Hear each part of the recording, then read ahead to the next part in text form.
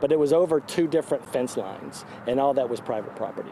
Eric Herr with Search and Support San Antonio has been involved in search efforts for about 30 missing persons cases. One of the jobs I have is mortuary affairs.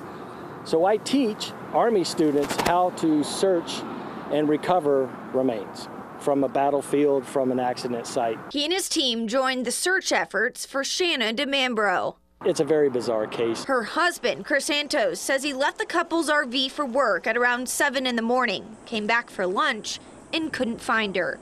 That was 10 days ago.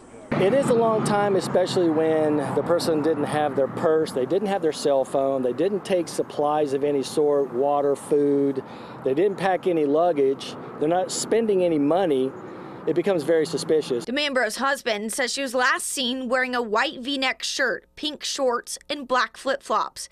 Information Herr used strategically. Because she disappeared wearing flip flops, I wanted to search that area because to me, it's very possible that she could go, she could be back there. I contacted the landowner. He let me on.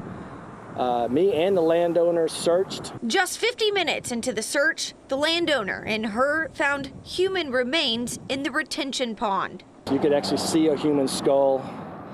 Uh, you could see the deterioration, the the uh, the bone in the hands and the arm. What did remain was a recognizable detail. I saw the tattoo on her back. And her husband had told me that she had the, a tattoo of a sunflower on her back. Comal County Sheriff's Office investigators say they believe it is the body of DeMambro. She was face down and she was in a almost like a crawling position. She had no clothing on and we couldn't tell that she had any shoes on. The body has been sent to Travis County for positive identification.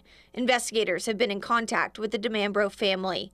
Fox 7 Austin contacted DeMambro's husband, and he declined to do an interview or provide a statement. The investigation into this disappearance is still ongoing. Reporting from Spring Branch, Meredith Aldis, Fox 7 Austin News.